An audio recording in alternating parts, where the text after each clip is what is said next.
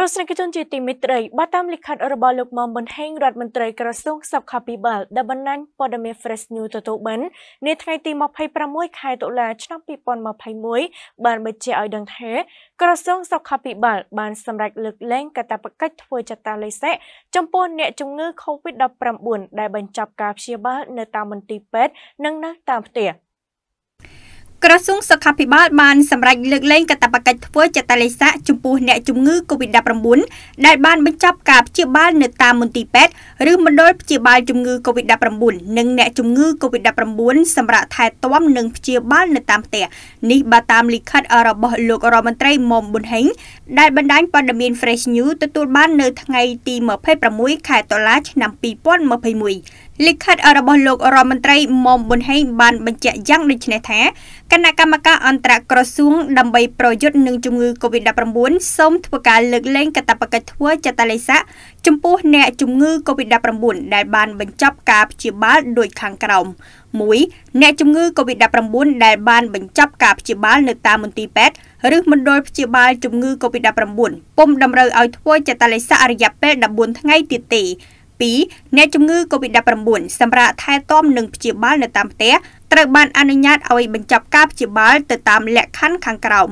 កករណីអ្នកជំងឺ Covid-19 ពុំបានចាក់វ៉ាក់សាំង Covid-19 ដូសមូលដ្ឋានបានពេញលេញ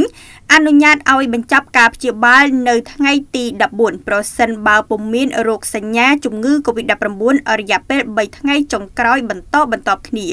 និងពុំតម្រូវឲ្យធ្វើចតាឡេសារយៈពេល14ថ្ងៃទៀតទេ ខករណីអ្នកជំងឺ Covid-19 បានចាក់វ៉ាក់សាំង Covid-19 ដូសមូលដ្ឋានបានពេញលេញហើយចាប់ពីថ្ងៃទី6ទៅពុំមានរោគសញ្ញាជំងឺ Covid-19 រយៈពេល3ថ្ងៃបន្តបន្ទាប់គ្នាត្រូវធ្វើតេស្តរហ័សរោគអង់ទីហ្សែន Covid-19 ដោយខ្លួនឯងនៅថ្ងៃទី9 ប្រសិនបើទទួលបានលទ្ធផលតេស្ត COVID-19 អវិជ្ជមាន អនុញ្ញាតឲ្យបញ្ចប់ការព្យាបាល និងពុំតម្រូវឲ្យធ្វើចតាឡេសារយៈពេល14ថ្ងៃទៀតទេប្រសិនបើលទ្ធផលតេស្ត COVID-19 វិជ្ជមានត្រូវធ្វើតេស្តរហ័សរោគអង់ទីហ្សែន COVID-19 ដោយខ្លួនឯងឡើងវិញ នៅ2ថ្ងៃបន្ទាប់ ហើយអនុញ្ញាតឲ្យបញ្ចប់ការព្យាបាលប្រសិនបើទទួលបានលទ្ធផលតេស្ត COVID-19 អវិជ្ជមាននឹងពុំតម្រូវឲ្យធ្វើចតាឡេសរយៈពេល14ថ្ងៃទៀតទេក្នុងករណីពុំមានលទ្ធភាពធ្វើតេស្តរហ័សរោគអង់ទីហ្សែន COVID-19 ដោយខ្លួនឯងនៅថ្ងៃទី9អនុញ្ញាតឲ្យបញ្ចប់ការព្យាបាលនៅថ្ងៃទី12ប្រសិនបើពុំមានរោគសញ្ញាជំងឺ Covid-19 ចាប់ពីថ្ងៃទី9ទៅរយៈពេល3ថ្ងៃបន្តបន្ទាប់គ្នានិងពុំតម្រូវឲ្យធ្វើចតាឡេសរយៈពេល14ថ្ងៃទៀតទេ លក្ខខណ្ឌចតាលិសារយៈពេល14ថ្ងៃចំពោះអ្នកជំងឺ Covid-19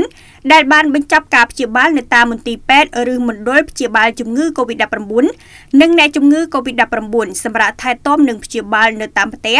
ដែលបានដាក់ឲ្យប្រើប្រាស់នាពេលកន្លងមកត្រូវបានទុកជានារីកអ្នកជំងឺ Covid-19 ដែលត្រូវបានអនុញ្ញាតឲ្យបញ្ចប់ការព្យាបាលទោះបីត្រូវបានលើកលែងកាតព្វកិច្ចចតាលិសា ប៉ុន្តែត្រូវតែបន្តអនុវត្តវិធានការសុខាភិបាលជាធរមាន ដោយចូលរួមអនុវត្តឲ្យបាននៅវិធានការ3កុំ3ការពារឲ្យបានខ្ជាប់ខ្ជួន